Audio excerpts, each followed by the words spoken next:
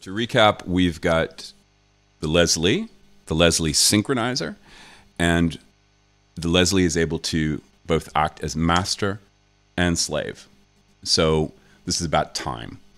Now, because an LFO is controlling the Leslie unit, we thought, okay, this is a cool idea. There's some waveforms in there. Let's output them and let's see what can be done. Because obviously, in the world of modular, it's the modules that open up the further possibility. Anything from clock dividers to CVs that can control filter sweeps. So, what we're going to do is just show proof of concept in the outputting of the waveforms and that they can, you know, be used for stuff.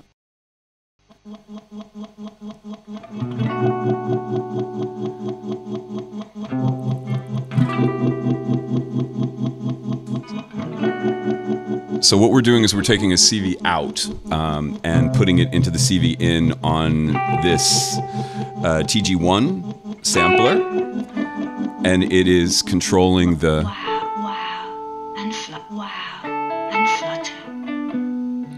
Wow, wow. Exactly. So when Frank changes the selector switch on the guitar, you're actually hearing the waveforms which are addressing the sample. So this is also cool. It's in there, and it's up to your imagination how you want to use it. Wow, and flutter. Wow, and flutter.